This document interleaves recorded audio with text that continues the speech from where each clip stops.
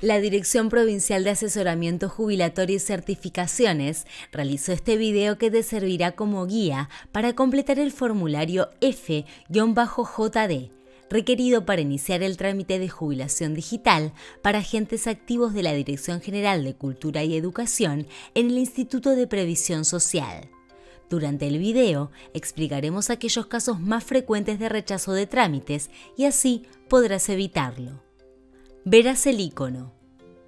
También contaremos aquellos casos donde detectamos que hay más consultas frecuentes. Comencemos. Podés encontrar el formulario en el portal abc.gov.ar, seleccionando la sección Jubilaciones y ahí Formularios. Es importante que utilices la última versión del formulario, de ser posible, la versión autocompletable. El formulario está compuesto por cinco módulos, datos del trámite, cargos solicitados, otros servicios presentados, representante legal en caso de optar por uno, solicitud de inicio trámite previsional. Pasaremos a detallar cada uno. El primer módulo es el de datos del trámite. Aquí lo primero que debemos seleccionar es el tipo de trámite que va a iniciar ante la Dirección General de Cultura y Educación. Las opciones son jubilación ordinaria, jubilación por edad avanzada. Reajuste jubilatorio o acrecentamiento hay que seleccionar siempre y cuando tenga un beneficio previsional otorgado por el Instituto de Previsión Social de carácter definitivo y con anterioridad a esta solicitud, y lo que se quiere es incorporar estos nuevos servicios a la jubilación que se encuentra percibiendo.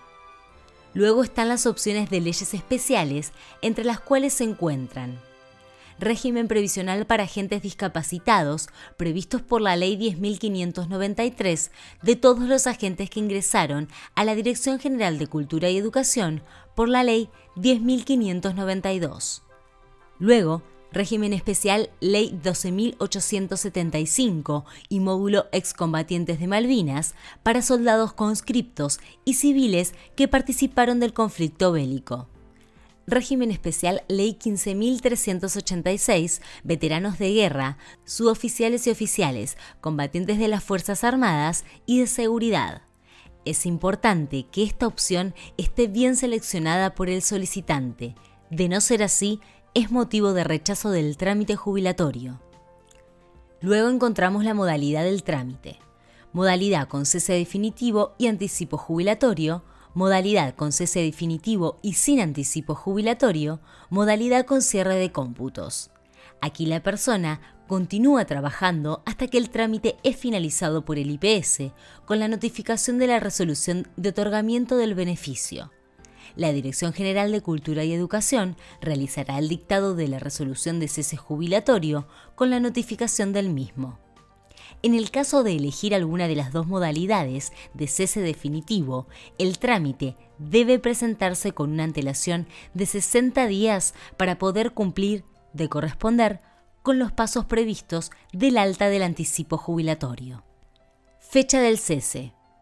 En el caso de elegir alguna de las dos modalidades de cese definitivo, el trámite debe presentarse con una antelación de 60 días para poder cumplir con los pasos previstos del alta del anticipo jubilatorio.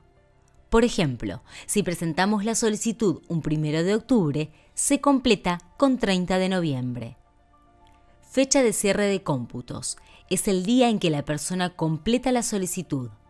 Puede ser una fecha pasada, para que coincida con otro cierre de cómputos de otro organismo o institución privada, debe aclararlo de ser así. No puede ser una fecha futura. A continuación, se completarán con los datos personales del solicitante. Aquí completarán apellido y nombre, fecha de nacimiento, DNI, domicilio real o constituido. En sucursal Banco Provincia, completar con localidad y sucursal donde se desee percibir los saberes jubilatorios. Comencemos con el módulo 2. Es muy importante. En el mismo se deben informar el o los cargos de mayor jerarquía solicitados.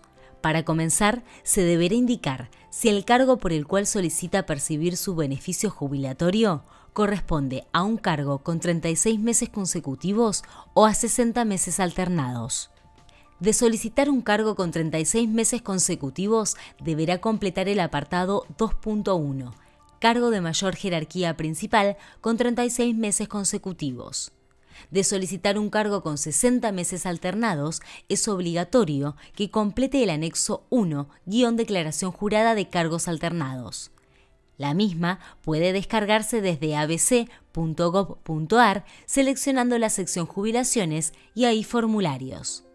Luego, deberá indicar si el cargo por el cual solicita percibir su beneficio jubilatorio corresponde a la Dirección General de Cultura y Educación o a otro empleador. Recuerde que la Dirección General de Cultura y Educación igualmente informará un mejor cargo. De haber seleccionado la opción cargo de mayor jerarquía principal desempeñado con 36 meses consecutivos, deberá detallar en la sección 2.1 aquel cargo desempeñado con 36 meses. Es importante mencionar que las licencias sin sueldo cortan el desempeño de este tipo de cargo. Para completar este cargo, debería indicar en primer lugar el número de secuencia del mismo. Recuerde que puede verificar el número de secuencia desde el sistema ABC-jubilaciones. Luego deberá indicar la denominación del cargo. De corresponder un cargo directivo, deberá indicar la cantidad de secciones o turnos del establecimiento donde se desempeñó y la categoría del mismo. En caso de ser profesor, deberá indicar la o las secuencias que solicita, detallando en el apartado cantidad de horas o módulos la carga horaria total.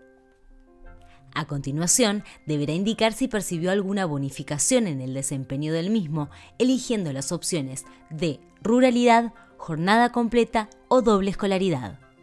De haber percibido alguna otra bonificación, deberá indicarla en el apartado Otras bonificaciones.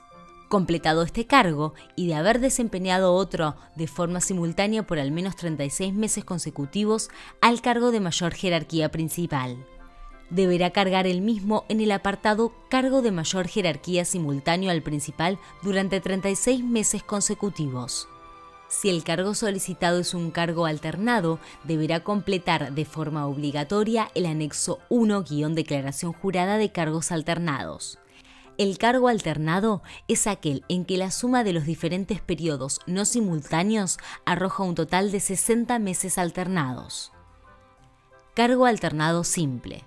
El cargo alternado simple es aquel cargo desempeñado durante 60 meses alternados.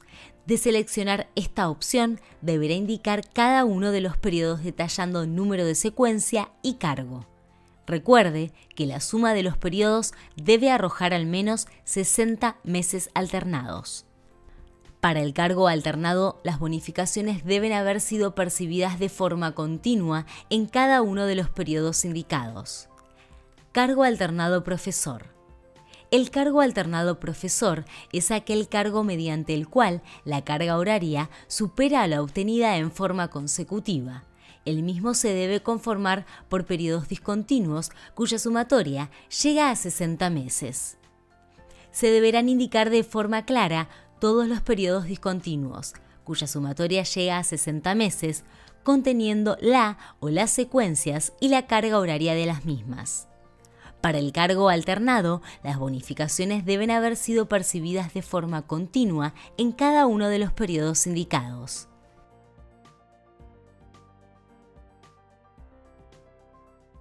Comencemos ahora con el módulo 3, denominado Otros servicios presentados al trámite.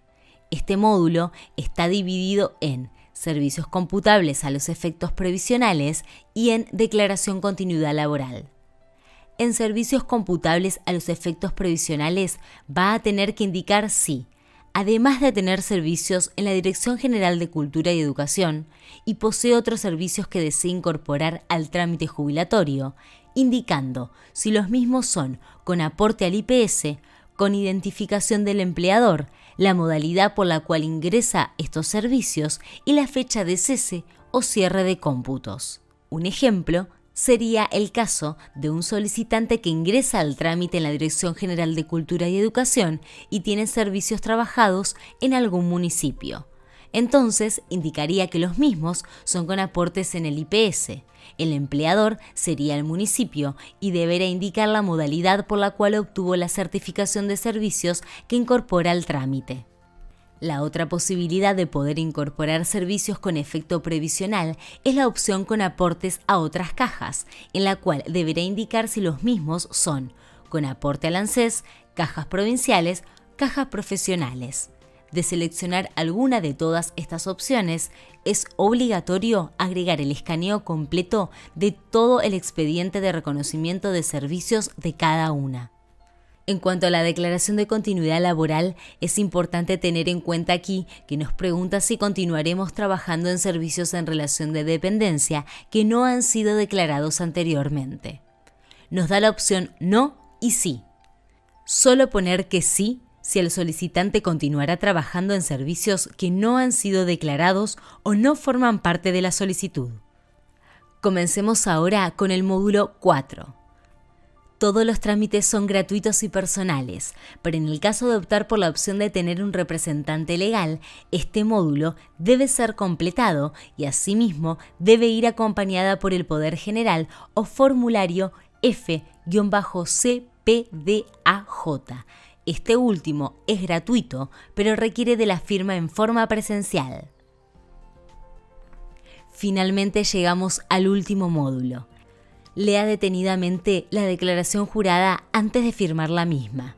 Importante, debe ser firmada de forma manuscrita y posteriormente escaneada. No se acepta firma digital o escaneada separadamente. Esperemos haber evacuado tus dudas. Todos los trámites son gratuitos y no necesitas intermediarios.